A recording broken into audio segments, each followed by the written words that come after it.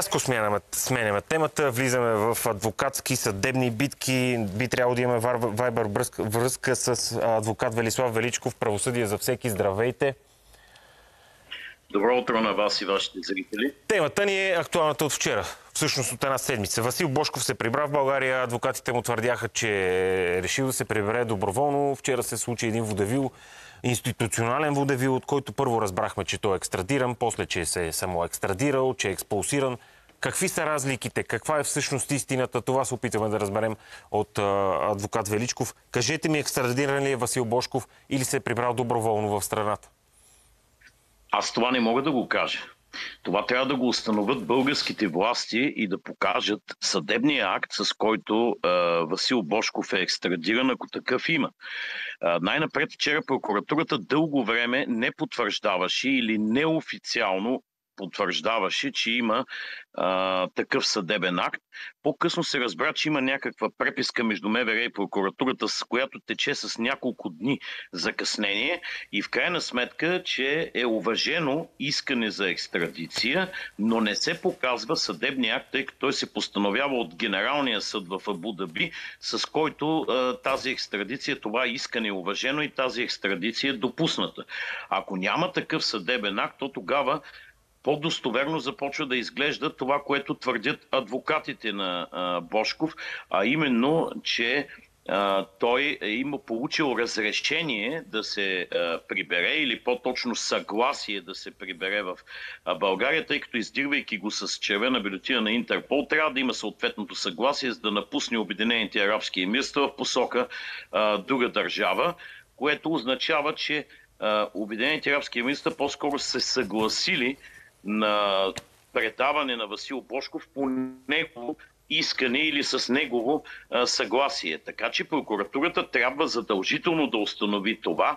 Пак казвам, без съдебен акт няма как да има а, екстрадиция. Знаем по-точно разбрахме в вчерашния ден, тъй като и по този въпрос имаше мълчание, че на два пъти е имало откази на искания на прокуратурата през 2020-2021 година за такова екстрадиране, докато май месец или юни месец миналата година е направено последното искане. Сега сме август, година и два месеца по-късно някак си дълга ми се струва тази господин, процедура. Господин Величков, вчера, господин Величков, вчера чух адвокатът на един от адвокатите на Васил Бошков да казва, че му било забранено да се прибере в България дълго време от страна първо на Обединените арабски емирства, но и от страна на Съединените американски щати. Обяснете ми сега това възможно ли? Как така може една страна, Не. която няма нищо общо в, а, с ситуацията, да забрани на български граждани да се прибере в България от съвсем различна страна? Не, не е възможно трета страна, която, в която гражданинът не прибивава, да му забрани той да напусне в посока родната си страна, след като той е издирван с червена бюлетина от Интерпол и след като има искане за естрадиране. По-скоро това, което се разбира от адвокатите на Васил Бошков е, че той така е давал доста писмени а, показания и свидетелства пред американската страна, но те не са свързани с а, това, за което го издигват в България, с а, списъка Магницки, в който господин Бошков е записан и от който той очевидно има много голямо желание да излезе, така както и всички останали. Тоест той доброволно а, е сътрудничал на американската страна за изясняване на положението и фактическите констатации, които са го включили в този списък Магницки. Американците, доколкото разбирам, са го посъветвали съвсем добронамерено, че миналата година не е подходящия момент той да напуска Обединените арабски емирства в посока България, тъй като има опасност той да бъде застрашен от политически процес. Така политически важна фигура, както той е наречен в част от тези документи. Между другото, същи са доводи и на генералната прокуратура, генералния прокурор в Будаби. Да, а, само да, да, да, да уточним нещо. Доколкото разбрах, едно от делата срещу Васил Бошков тук в България е прекратено това за така нареченото финансиране на протестите от а, лятото на миналата година.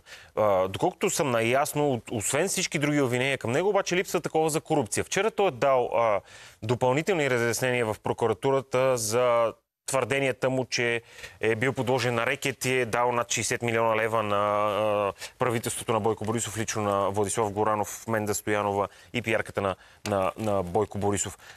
Как се връзва всичко това при положение, че дело за корупция, доколкото не е ясно, все още няма? Това дело към него, срещу него ли е или по-скоро се води срещу а, някой друг ответник? Вижте, за сега такова дело не се води. Първо за прекратяването на делото за така наречения опит за държавен преврат от 2020 финансиране на протести не е нещо незаконно, но опит за смяна насилствена на държавното управление е нещо, което се преследва от закона. Но това беше толкова смешно и нелепо обвинение, че щеше да стане голям цирк, ако беше поддържано от който и да е прокурор в съда. Така че то нормално е прекратено. Има още едно-две нелепи обвинения. В крайна сметка имаме три досъдебни производства в момента. По едно от тях е взета мярка за неотклонение за държане под стража на Васил Бошков. По другите две предстои е вероятно след произнасянето на апелативния съд по мярката другата седмица да се внесе искане за мярка. Така че то отговаря по три досъдебни производства. Да, нито едно от тях не е за корупция, но косвено едно от тях е свързано с оглед това, че той е спестил пари от, от по-благоприятен данъчен режим с промени в законодателство. Именно, именно за това е неговото твърдение, което... че, е плащал, че е плащал подкуп или рекет на, на правителството. Накрая, Сега. последен въпрос. Вашето мнение. Вижте, очаквате ли, очаквате ли Васил въпрос. Бошков да се размине с правосъдието? Въобще очаквате ли всички дела да паднат? Видяхме, че няколко такива обвинения прокуратурата, например, срещу братя Бобокови падат едно Не. след друго. Вижте, това е невъзможно да паднат обвинението си господин Бошков. Има много сериозно искане за неговата екстрадиция, което е било мотивирано. Прокуратурата си е вдигнала сама високо топката и не може да се откаже да внесе тези обвинения в съда. Обратният въпрос е интересен.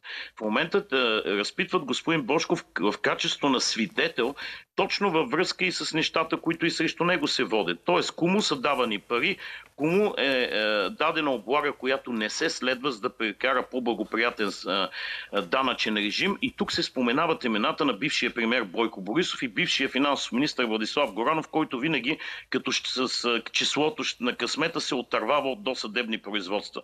Така че именно тук може да се стигне до данни за организирана престъпна група за търговия с влияние. Няма такъв текст корупция.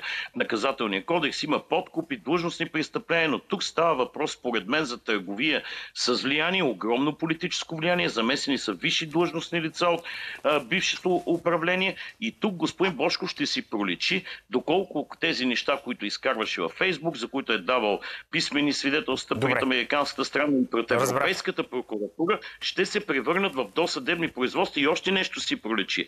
Доколко Бързо, главният прокурор и компетентните прокурори искат да се стигне до обективно разследване и до ефективно правосъдие спрямо всички.